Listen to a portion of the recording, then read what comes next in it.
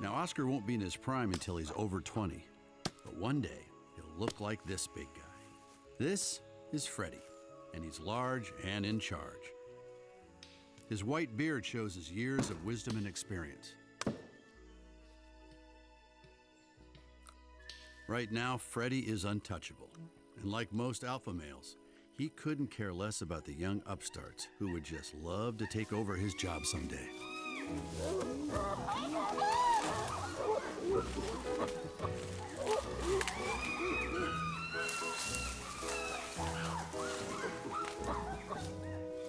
Yeah, yeah. Seen it all before. You need brains to make a living in this forest. The jungle toolbox can help, but only if you're bright enough to use it.